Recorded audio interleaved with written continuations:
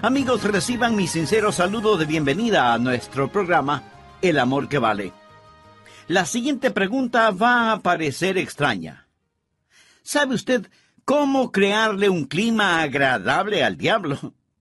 El apóstol Pablo en su carta a los Efesios capítulo 4 versículos 27 y 30 escribe, Ni deis lugar al diablo, y no contristéis al Espíritu Santo de Dios estos versículos deberían ocasionar que todos nosotros prestemos atención y tomemos nota que como hijos de Dios, salvos, nacidos de nuevo, podemos dar lugar al diablo y entristecer al Espíritu Santo.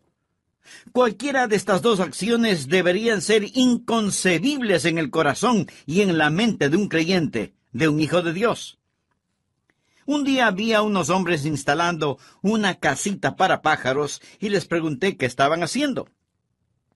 Pongo una casa de pájaros para los vencejos azules, contestó uno de ellos. Cuénteme al respecto, le pedí. Bien, tiene que estar construida de cierta forma. El hoyo debe ser de determinado tamaño. Si un vencejo azul la ve y le gusta, él se mudará a vivir en ella, mas usted tiene que hacer que él se sienta bienvenido. Para que ese pájaro haga su hogar allí, primero tiene que crearle cierta atmósfera o clima. ¿Me explicó? Mi amigo, esto es exactamente lo que algunos creyentes han hecho. Han creado un clima agradable para el diablo. Ellos han establecido determinadas condiciones y han colocado la alfombra de bienvenida para que el diablo se sienta en casa. Básicamente le han dicho, Satanás, creo que este es la clase de lugar apropiado para ti. Por favor, recuerde esto. El diablo nunca jamás podrá apoderarse de ninguna área en su vida, a menos que usted se la dé. Satanás no es más poderoso que nuestro Señor. Él no tiene ningún derecho ni ninguna autoridad en su vida. Él es un completo intruso hasta que usted le cede un lugar. Es por ello que Efesios 4 nos advierte que no le demos lugar o cabida al diablo, puesto que una vez que usted ha creado un clima para el diablo, él va a ponerse inmediatamente a trabajar en todas las otras áreas de su vida. Suponga que usted posee una propiedad de unos 50 acres y me vende un acre ubicado exactamente en medio de su propiedad. A su vez me otorga acceso a través de su propiedad para llegar a mi propiedad. Ahora, supongamos que todas las noches pongo música muy fuerte, tiro basura a mi alrededor y hago todo lo posible por profanar su propiedad. Pasado algún tiempo usted me dirá, yo te quiero fuera de aquí. no obstante, imagínese que le contesto, yo no me tengo que ir y tú no me puedes obligar. Tú me vendiste esta propiedad y tengo derecho legal a esta. Si no te gusta, ese es tu problema porque yo no me iré. Algunos creyentes han hecho casi lo mismo con Satanás. Le han dado un lugar en sus vidas y no pueden desalojarlo. ¿Por qué? Porque el lugar que le han dado a Satanás se ha convertido en su fortaleza, por consiguiente, lo importante es comprender cómo Satanás construye una fortaleza en las vidas del pueblo de Dios. ¿Qué hacemos que ocasione que Él se sienta en casa? Escudriñemos los versículos en el contexto alrededor de Efesios 4, versos 27 y 30. La mentira. ¿Qué cosas crean un clima agradable para el diablo? Por favor, mire Efesios 4, 25. Por lo cual, desechando la mentira, hablad verdad cada uno con su prójimo, porque somos miembros los unos de los otros. Si su vida no está cimentada en la verdad absoluta, total e impecable, usted está creando un clima donde Satanás se sentirá bienvenido. En Juan 8:44, Jesús reveló algo acerca del diablo. Dijo, Él ha sido homicida desde el principio, y no ha permanecido en la verdad, porque no hay verdad en él. Cuando habla mentira, de suyo habla, porque es mentiroso y padre de mentira. Si usted realmente quiere que el diablo se sienta en casa en su vida, entonces vivirá una mentira, amará una mentira e incluso creerá una mentira. Satanás es el príncipe de las tinieblas y la mentira proviene del reino de las tinieblas. Por el contrario, el reino de Dios está edificado sobre la verdad. En Juan 14:6 el Señor Jesús afirmó, Yo soy el camino y la verdad y la vida. Nadie viene al Padre sino por mí. Al Jesús orar al Padre, él atestiguó, Tu palabra es verdad. Y a su vez en primera de Juan 5:6 asegura, El Espíritu es la verdad. Deseo que se pregunte, ¿existe alguna área de deshonestidad en mi vida, incluyendo las llamadas mentiritas blancas, que pueden llegar a ser un lugar de residencia para el diablo? ¿Sabía que usted puede mentir con el tono de su voz o con solo poner una cara de sorprendido? Hmm. Permítame darle un ejemplo. Cuando estaba en la universidad, pastoreaba una pequeña congregación ubicada a 130 millas de distancia, la primera iglesia bautista de Felsmer en la Florida.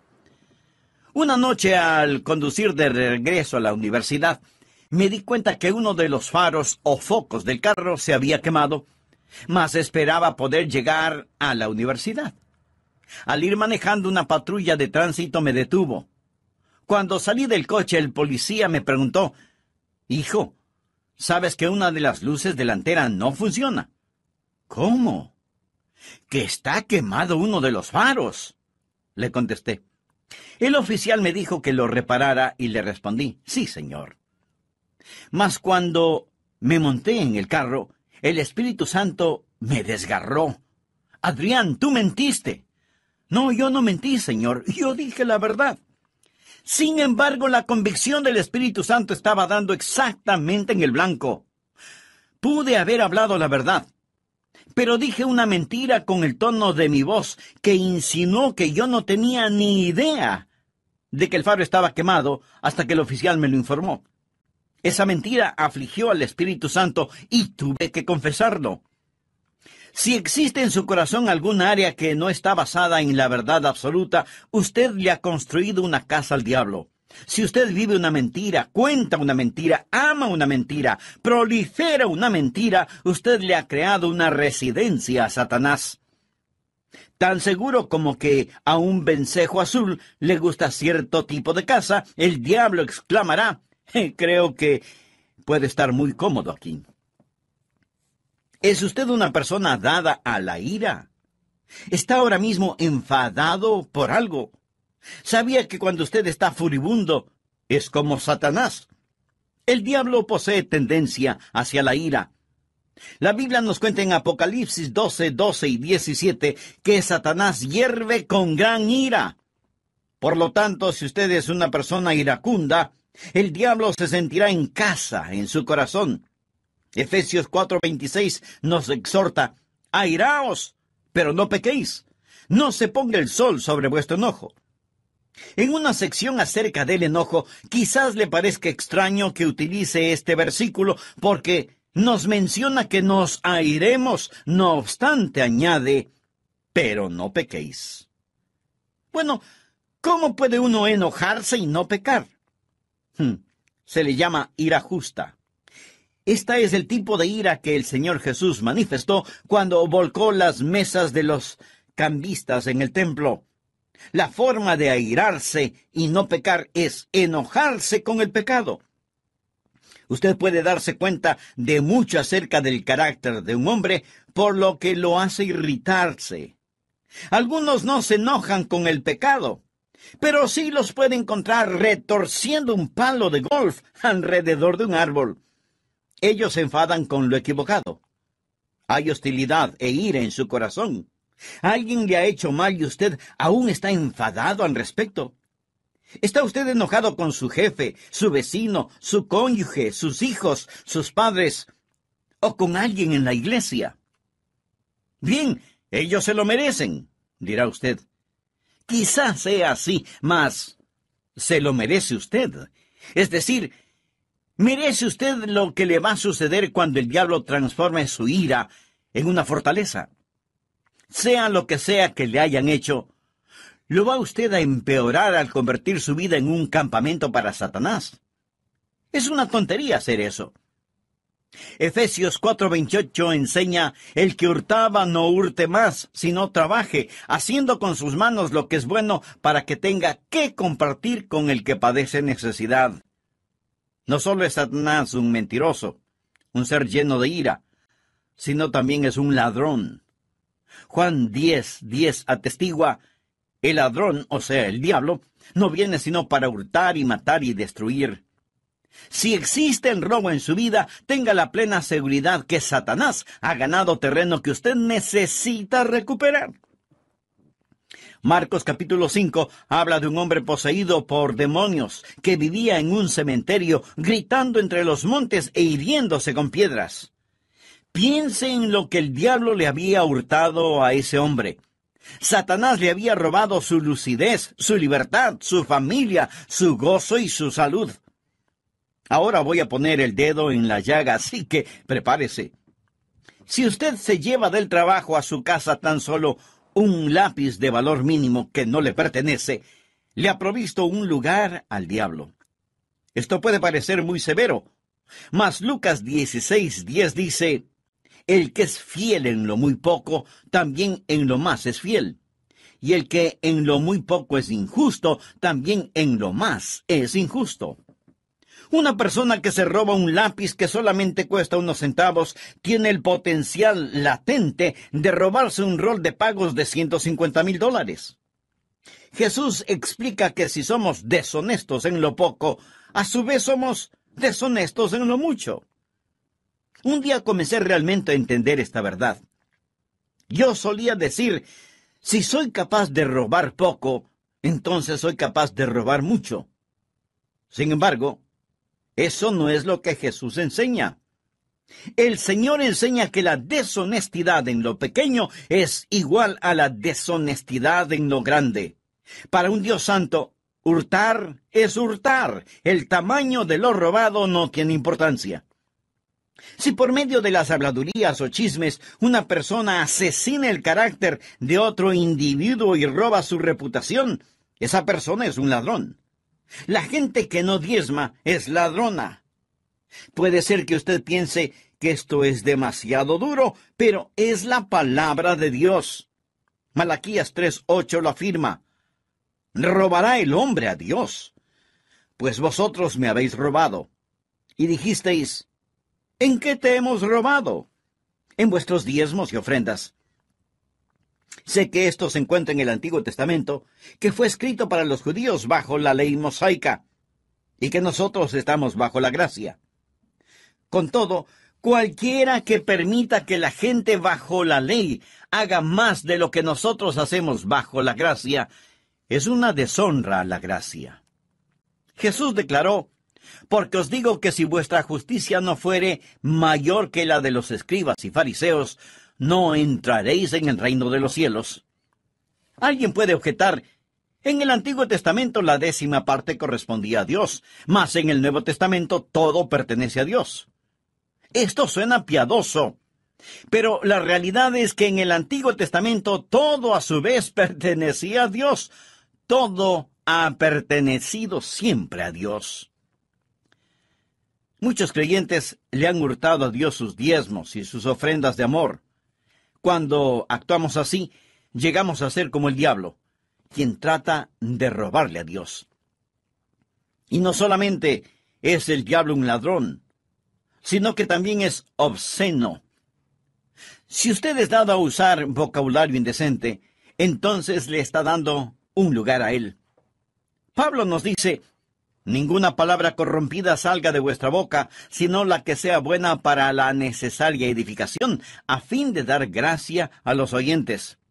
Ni palabras deshonestas, ni necedades, ni truanerías que no convienen, sino antes bien acciones de gracias. Algunos piensan que la frase ni truanerías se refiere al humor, así que concluyen que no deberíamos usar el humor. Mas esto no es de lo que Pablo habla. No tiene nada que ver con el humor. Usado apropiadamente, el humor es un regalo de Dios para renovarnos, relajarnos y refrescarnos. Por el contrario, Pablo está refiriéndose a las conversaciones que degradan a la gente. Existen ciertos tipos de lenguaje e historietas que derrumban, que no edifican. Estos destruyen y deshonran.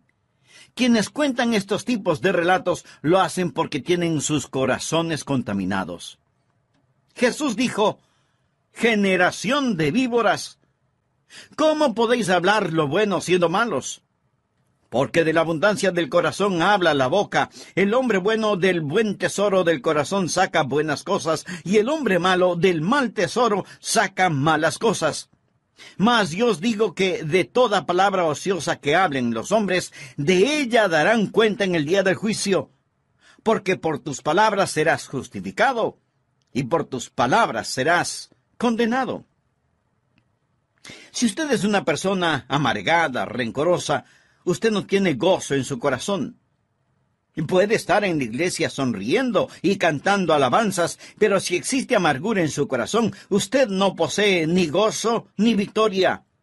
Si guarda amargura en su corazón, está arruinando su vida, contaminando a la gente a su alrededor y envenenando la vida de su iglesia. Usted le está dando lugar, cabida, al diablo. ¿Sabía usted que el diablo es un amargado, un rencoroso? Satanás tiene un odio rencoroso contra el pueblo santo de Dios y lo persigue tratando de cualquier forma de lisiarlo. Apocalipsis 12:12 dice, Ay de los moradores de la tierra y del mar, porque el diablo ha descendido a vosotros con gran ira, sabiendo que tiene poco tiempo. Cuando usted permite que la amargura eche raíz en su corazón contra alguien, usted es como el diablo. Usted desea vengarse. Sin embargo, ¿qué es lo que la palabra de Dios dice? Y no contristéis al Espíritu Santo de Dios, con el cual fuisteis sellados para el día de la redención. Quítense de vosotros toda amargura, enojo, ira, gritería y maledicencia y toda malicia. Antes sed benignos unos con otros, misericordiosos, perdonándoos unos a otros, como Dios también os perdonó a vosotros en Cristo. Este pasaje demuestra que la amargura frecuentemente conduce a la difamación. ¿Sabía usted que la palabra diablo significa difamador? Apocalipsis 12:10 llama a Satanás el acusador de nuestros hermanos. Si usted es un difamador, un calumniador, o si habla cualquier tipo de malevolencia, usted literalmente está llevando a cabo el trabajo del diablo. Permítame mostrarle cómo trabaja el diablo. Primero, él crea amargura. Alguien le hace mal, usted se siente herido y cree poseer el derecho de estar resentido. Después de un tiempo esa amargura se convierte en enojo. La palabra griega para el enojo tiene la idea de algo que se quema por dentro, una combustión interna. Es como trapos que arden lentamente en un desván o en un armario. Si usted no pone término a su amargura, empezará a quemarse lentamente. ¿Lo ha sentido usted alguna vez? Yo sí lo he sentido. Es lo que la Biblia llama enojo. La palabra que sigue en este pasaje de Efesios es ira.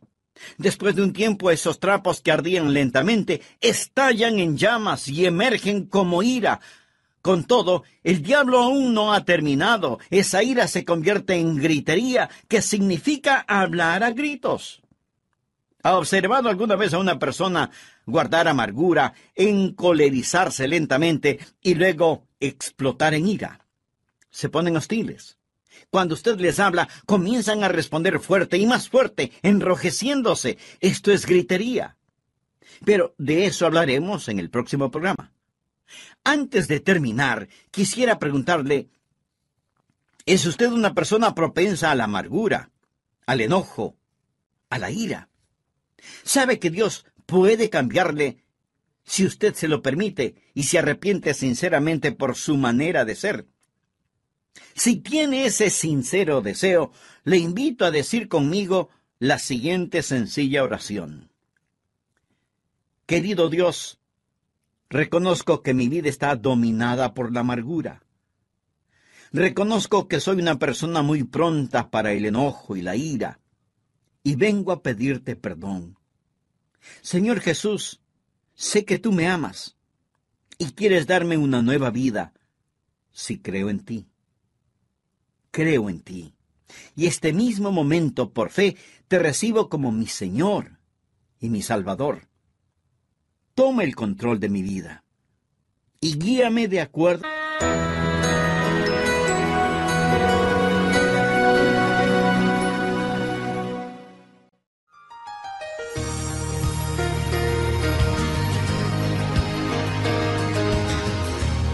¿Sabía que toda área de pecado no confesado en su vida es una justificación legal para que Satanás se quede? Hasta que usted no confiese ese pecado y le pida a Dios que le perdone y le limpie de sus pecados, el diablo tiene todo el derecho de edificar fortalezas en su corazón. Dios no aceptará coartadas o excusas por el pecado. Usted puede decir, pero yo tengo mis derechos. Amigo, usted no posee más derechos que los que tiene un hombre muerto. Usted está crucificado con Cristo, le pertenece a Él. Usted no tiene ningún derecho de afligir al Espíritu Santo de Dios, no tiene ningún derecho de dar lugar al diablo en su corazón. Usted no es dueño de sí mismo porque ha sido comprado con la preciosa sangre de Jesucristo. Usted debe glorificar a Dios en su cuerpo, en su mente y en su espíritu, puesto que todo le pertenece a Dios. Y su arrepentimiento no debe ser solo un remordimiento por el pecado cometido, sino un terminar para siempre con el pecado. Acompáñeme en la segunda parte del mensaje, cómo derribar las fortalezas de Satanás en su vida. Bienvenidos a El Amor que Vale, con el pastor, maestro y actor, Dr. Adrián Rogers, supliendo las necesidades de la gente con la verdad de la palabra de Dios, trayendo personas a Cristo, transformando vidas alrededor del mundo y ayudándole a usted a descubrir el poder del amor más grande, el amor que vale.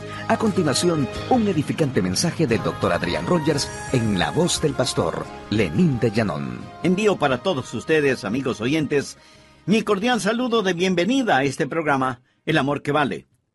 En el programa anterior empezamos a estudiar cómo derribar las fortalezas de Satanás en su vida.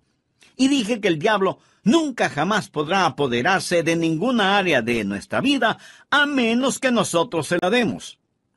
Por eso Pablo, escribiendo a los creyentes de Éfeso, entonces, y a nosotros ahora, nos advierte para que no le demos lugar al diablo, puesto que una vez que usted ha creado un clima o ambiente para el diablo, él va a ponerse inmediatamente a trabajar en todas las otras áreas de su vida. En Efesios 4, versículos 27 y 30 leemos, Ni deis lugar al diablo, y no contristéis al Espíritu Santo de Dios y en el versículo 25 Pablo dice, por lo cual, desechando la mentira, hablad verdad cada uno con su prójimo, porque somos miembros los unos de los otros. Y en Juan 8:44, Jesús reveló cosas muy importantes acerca del diablo. Él ha sido homicida desde el principio y no ha permanecido en la verdad porque no hay verdad en él. Cuando habla mentira, de suyo habla porque es mentiroso y padre de mentira. Si usted realmente quiere que el diablo se sienta como en casa en su vida, entonces vivirá de mentiras, amará las mentiras y creerá mentiras, porque Satanás es el príncipe de las tinieblas y la mentira proviene del reino de las tinieblas. Por el contrario, el reino de Dios está edificado sobre la verdad. En Juan 14, 6, el Señor Jesús afirmó, Yo soy el camino y la verdad y la vida. Nadie viene al Padre sino por mí. Jesús, al orar al Padre, atestiguó, Tu palabra es verdad. A su vez, en Primera de Juan 5, 6, se nos dice, El Espíritu es la verdad.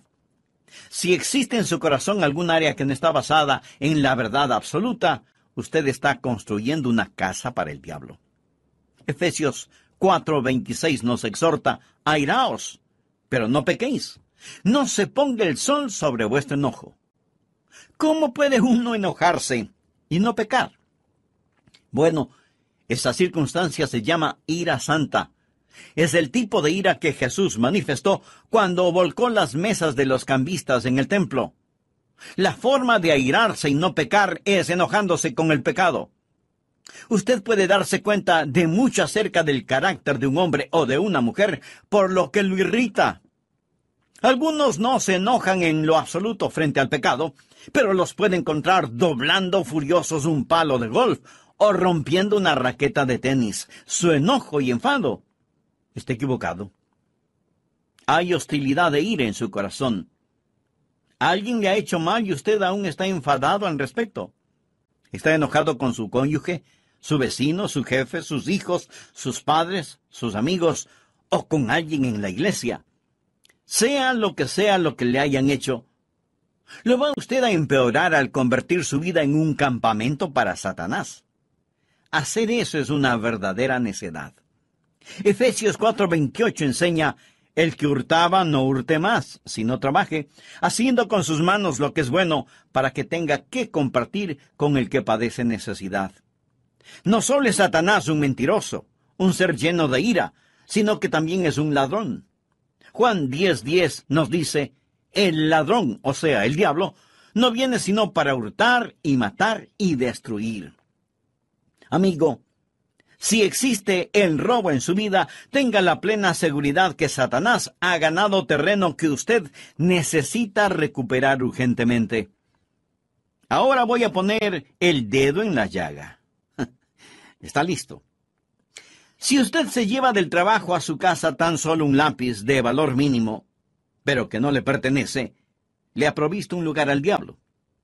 Esto puede parecer muy severo, pero en Lucas 16, 10 leemos, el que es fiel en lo muy poco, también en lo más es fiel. Y el que en lo muy poco es injusto, también en lo más es injusto. Una persona que se roba diariamente un lápiz que cuesta unos pocos centavos tiene el potencial latente para robarse un rol de pagos de un cuarto de millón de dólares. Jesús explica que si somos deshonestos en lo poco, tenemos el potencial para ser deshonestos en lo mucho. No solo el diablo es un ladrón, sino que también es un obsceno. Si usted es dado a usar un vocabulario indecente, entonces le está dando lugar al diablo en su corazón. Pablo nos dice, Ninguna palabra corrompida salga de vuestra boca, sino la que sea buena para la necesaria edificación, a fin de dar gracia a los oyentes ni palabras deshonestas, ni necedades, ni truanerías que no convienen, sino antes bien acciones de gracia. Algunos me preguntarán, el pastor, ¿cómo trabaja el diablo? Primero, él crea amargura. Alguien le hace algún mal a usted y se siente herido y cree poseer el derecho de estar resentido. Después de un tiempo esa amargura se convierte en enojo y el enojo conlleva la idea de una ardiente combustión interna. Luego el enojo da paso a la ira y la ira se convierte en gritería, que significa hablar a gritos. ¿Alguna vez ha observado a una persona guardar amargura, encolerizarse lentamente y luego explotar en ira? Se ponen hostiles y cuando usted les habla, comienzan a responder fuerte y más fuerte, enrojeciéndose. Esto es gritería. ¿Qué sucede después? La gritería se transforma en maledicencia. Usted está furioso, comienza a decir algo y el diablo le incita. Sí, sí, sí, dile esto y también dile aquello. Las palabras malévolas empiezan a brotar. Usted dice cosas que no siente. Cuando estamos fuera de control decimos cosas como te odio. Nunca llegarás a hacer nada. Desearía que nunca nos hubiéramos casado. Desearía que estuvieras muerto. Más tarde, daríamos un millón de dólares si pudiéramos retractarnos de lo dicho. No obstante, el diablo está allí insistiendo, sí, es cierto, dile esto también. Se siente bien por un tiempo, pero lo que comenzó como amargura finalmente acaba en maledicencia. Antes de que usted se dé cuenta, usted deseará hacerle daño a alguien. Quizás usted quiera cortar su ayuda financiera o abandonar a esa persona para hacerle sufrir. Cuando llegamos a este extremo, el diablo ya ha llevado a cabo un malévolo trabajo en nosotros. Le hemos abierto la puerta y permitido que construya una fortaleza en nuestras vidas. Y digo, permitido, porque Satanás no puede ocupar ningún lugar, a menos que nosotros se lo demos. ¿Sabía que usted puede romper el corazón de Dios? Cuando damos lugar al diablo, destrozamos el corazón del Espíritu Santo. Esto debido a que permitimos que este templo comprado, adquirido con la preciosa sangre de Jesús, llegue a ser un nido para Satanás. Le abrimos la puerta al diablo, y el amado Espíritu de Dios llora, y Satanás se ríe, burlándose de las cosas sagradas de Dios. Si vamos a desalojar al diablo y derribar sus fortalezas, necesitamos seguir tres pasos. Primero, el arrepentimiento. En primer lugar debe haber arrepentimiento.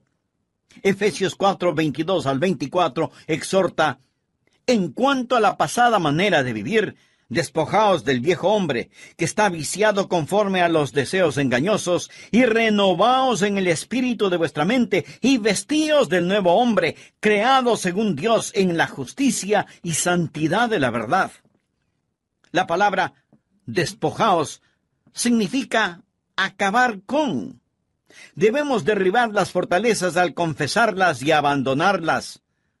No existe otra forma de lidiar con el pecado. Lo que se dio a Satanás, usted debe volverlo a tomar. Nunca podrá reposeerlo hasta que se arrepienta. Ahora bien, usted jamás lo recuperará hasta que no lo despoje de la autoridad legal que él posee en su vida. Toda área de pecado no confesado en su vida es una justificación legal para Satanás. Hasta que usted no confiese ese pecado y le pida a Dios que le limpie de éste, el diablo tiene todo el derecho de edificar una fortaleza en su corazón. Dios no aceptará una coartada o una excusa por el pecado. Usted puede decir, bien, yo tengo mis derechos. Amigo, usted no posee más derechos de los que tiene un hombre muerto. Está crucificado con Cristo, le pertenece a Él. Usted no tiene ningún derecho de afligir al Espíritu Santo de Dios. No posee ningún derecho de dar un lugar al diablo en su corazón. Usted no es dueño de sí mismo, usted ha sido comprado con un precio. Usted debe glorificar a Dios en su cuerpo y en su espíritu, puesto que ambos le pertenecen a Él. El arrepentimiento no es simplemente estar quebrantado por su pecado, sino acabar con su pecado. Después de arrepentirse, usted todavía debe limpiar su casa. Usted debe entrar allí con un poder legal, que es el nombre de Jesús, y reposeer ese terreno. La Biblia dice, Someteos pues a Dios, resistid al diablo, y huirá de vosotros.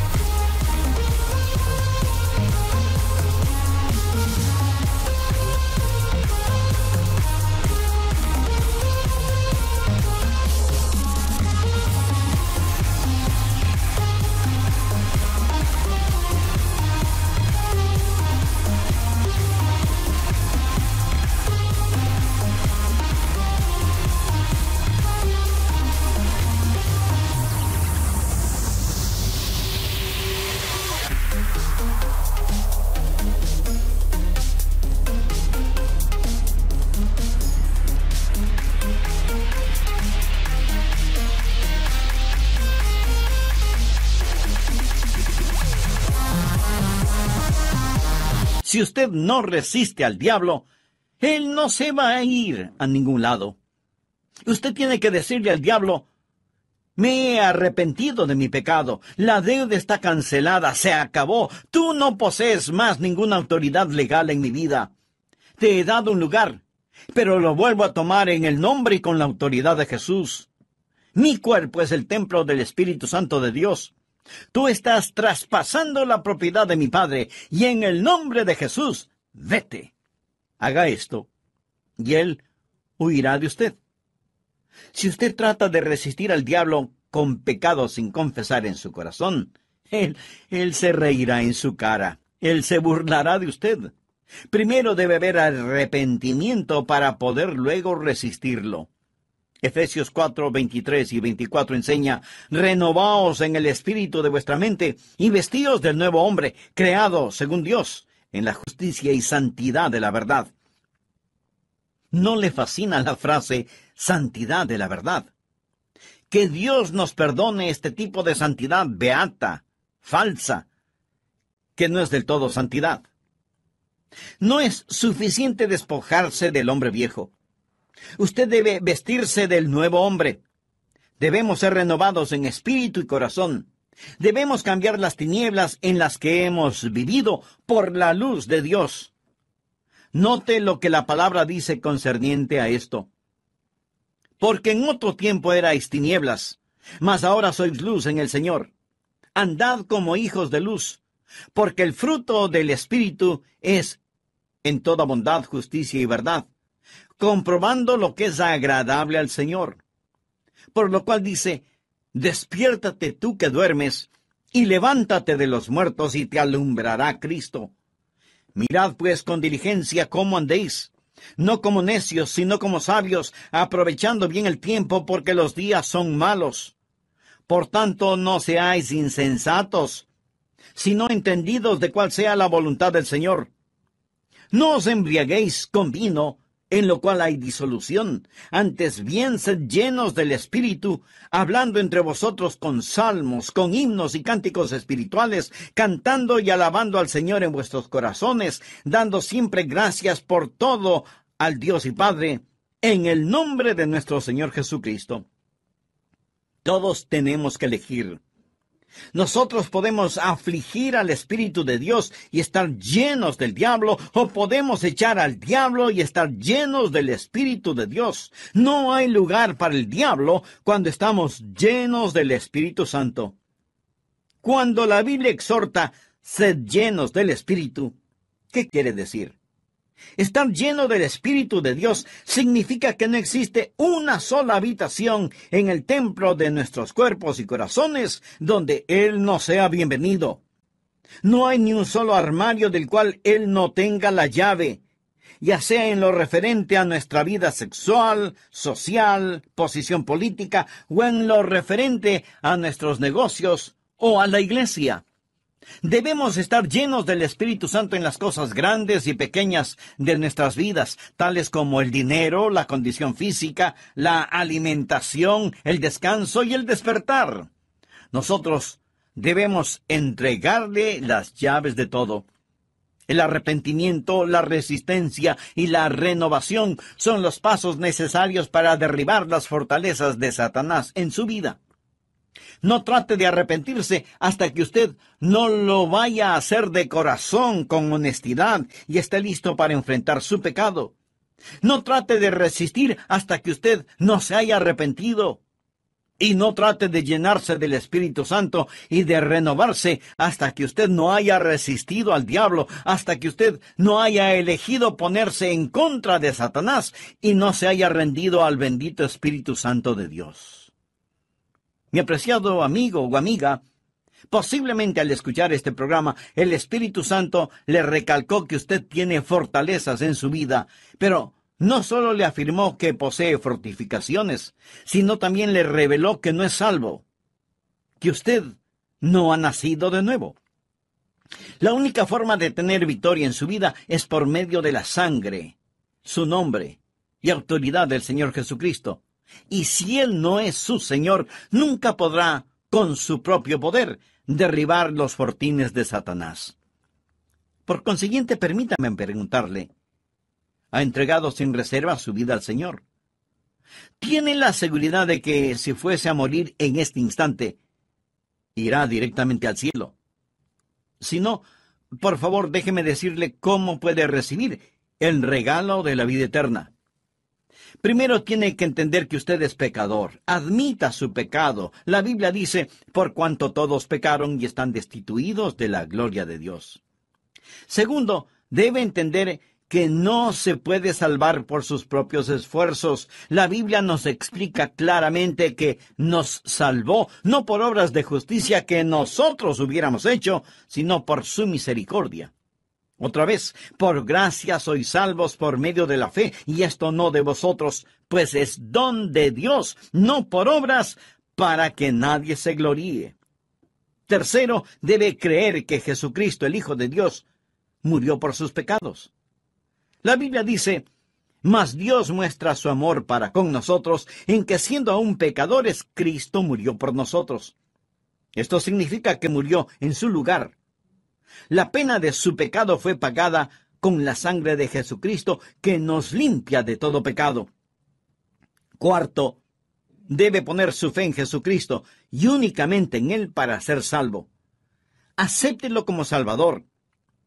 La sangre de Cristo no le sirve de nada hasta que la reciba por fe. La Biblia afirma Cree en el Señor Jesucristo y serás salvo tú y tu casa. Ha tomado este importantísimo paso de fe. Si no, urge que lo haga en este momento. ¿Por qué? Porque Jesús es la única forma de llegar al cielo. Hablando de Jesús en Hechos 4:12, el apóstol Pedro testificó, y en ningún otro hay salvación, porque no hay otro nombre bajo el cielo dado a los hombres en que podamos ser salvos. Jesús mismo enseñó, yo soy el camino y la verdad y la vida, nadie viene al Padre sino por mí. ¿Está dispuesto a elevar una sencilla oración a Dios? Por favor, repita conmigo, Amado Dios, sé que soy pecador Sé que tú me amas y deseas salvarme. Jesús, yo creo que tú eres el Hijo de Dios, quien murió en la cruz para pagar por mis pecados. Creo que resucitaste de entre los muertos. Ahora me alejo de mis pecados y por medio de la fe te recibo como mi Salvador y mi Señor en forma personal. Entra en mi corazón, perdona mis pecados y sálvame. Señor Jesús. En tu nombre te lo suplico. Amén.